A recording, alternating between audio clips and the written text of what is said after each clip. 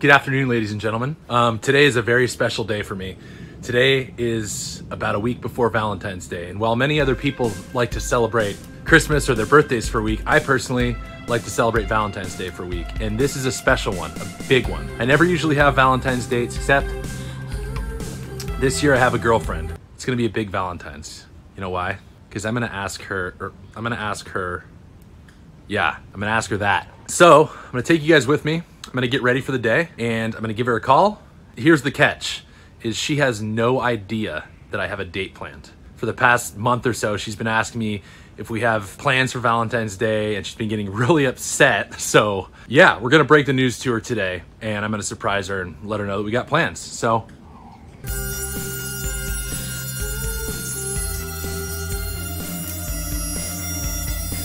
ah. Hair, hairstyle looking sick, okay? Toothbrush check. all right, let's head downstairs. Let's do it. It's raining men. Hallelujah. I mean, uh, rock you like a hurricane. Hey, babe. Yeah. Oh, yeah. Yeah, yeah. I can tell you. Yeah, I can tell by the tone of your voice you're pretty mad. Well, okay. Well, let me let me let me tell you something really quick. You know how I haven't made plans for Valentine's Day and you've been pretty mad? Well, I made plans. Yeah, we're going out to dinner. Riley O. Buck's Steakhouse. Okay? It's gonna be special. Wait, what? You were you didn't hear anything I just said? Okay. Well, what do you mean? You're breaking up with me. Just zero to 60. I, not wearing deodorant, not brushing my. I, I brush my teeth, talking in my sleep. Oh, okay, okay. Well, you're obviously pretty mad right now. no, you're serious. Well, well, fine then. And I never really loved you. What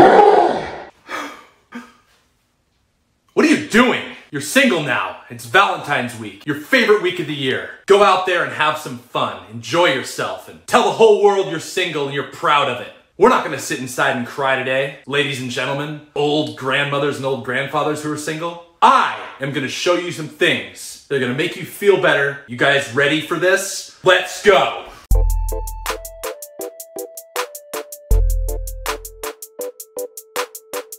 I'm gonna show you guys some places and some things to do that are gonna make you feel a lot better today. Okay, it's gonna make me feel better.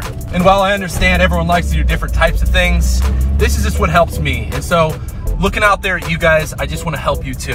So consider doing these things, and you're definitely gonna feel better about yourself by the end of the day.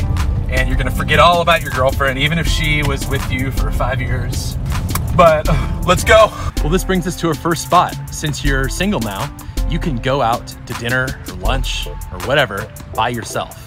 I know there's a lot of stigma behind going out to restaurants by yourself, sitting in the corner, feeling like a weirdo, all by yourself, have to pay the whole bill by yourself, couples all around you looking at you. You know, one of the pros is that you're gonna save yourself some money, okay? You only have to buy dinner for one. And just because you're sitting over there in the corner by yourself doesn't mean you're a bad person.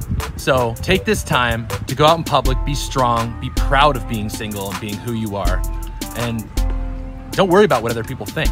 Let's move on to the next location, and you guys are gonna feel even better after this next one. Guys, there could be no better place in the world for dealing with being single on Valentine's Day than the mall. So since we're at the mall, we can do some therapeutic shopping. We can check out some possible suitors, suitesses, whatever you want to call it, and uh, see if we can find some mannequins or something else. I don't know. Hey, uh, you want to go on a date? Hey, uh, do you want to go on a date? No?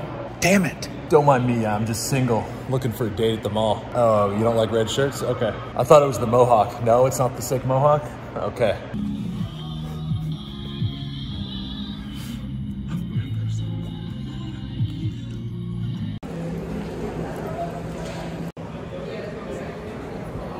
Oh, hell no, dude. This is where my girlfriend used to go. Eyebrow Beauty. It makes me feel pretty sad to be here, so let's check out something else.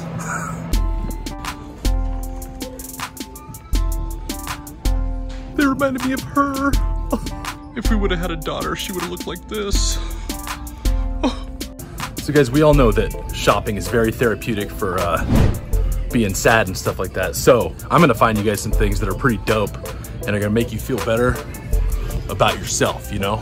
It's time to downsize, guys. Now that you're single, you only need a really small bed. So that's gonna save you some cash. Slang your uh, your Sealy Posturepedic on Craigslist, buy that little mattress back there for 15 bucks, and you are good. You are good, and you're gonna make some money. You can also buy as many rain boots as you want without anyone complaining about buying too many rain boots again. You can use all this toilet paper here to uh, clean up all the shh, all the uh, stuff your ex left behind. Was your ex really skinny and all these years you've really been wanting a BBW? Uh, well, you can find books, binders, and water bottles here. Maybe that's BBWB actually. Totally different thing. I think I'm gonna, I think I'm gonna ask this mannequin out on a date. Couldn't help but notice you standing there, wondering if you're single. I am. And Valentine's Day is coming up, and I love that you have no facial features and hair. I was wondering if you'd like to go on a date with me? No? Okay. Okay, I'll just ask someone else. There's plenty of other people that look just like you. Hey, ladies. Hey, ladies, uh, you ladies want to go on a date with me? No? Get out of here? Get out of here? No, okay, okay, fine. You ladies look more like my type. Um, I mean, do you want to go on a date with me next week for Valentine's Day? One of the most intimidating things about groups of mannequins in particular is that they can be very standoffish and quiet. That's okay, guys. If you get rejected five or 12 times at the mall, it's not a big deal. It's just one mall. There's tons of other fish in the malls. Or there's tons of other fish in the seas, tons of other malls, tons of other mannequins, whatever, you know? It's not a big deal. It's not you, it's them. All right, everybody, I gotta head home. I got other stuff I gotta take care of today, so I'm sorry I couldn't find you a date. We'll try on our way home. One last ditch effort to find a date or happiness or whatever. Forget being single during Valentine's week, my favorite week of the year. So we're gonna give it a couple more tries, okay? Hey, are you single? Hey, stoplight, are you single? Oh, it's a green light, oh God, sorry. Guys, I have no luck right now. It's not looking up for me for this week. Valentine's Day is a little over a week away, and unless I get lucky and someone sees this video and loves my mohawk, probably gonna be waiting until next year. But don't forget to stay strong. And just because your boyfriend or girlfriend dumped you, doesn't matter. You're still a good person and you're still strong and you're attractive and you're physically fit. You have no diseases and you know, those are the things you gotta be thankful for. Not some stupid mannequin or products for your hair to make you look better. This whole thing is about self-love and self-care. Thanks for coming again. Next week, it's gonna be a little more upbeat and lighthearted. Sorry if this made you feel sad or depressed, but again, love yourself. Goodbye.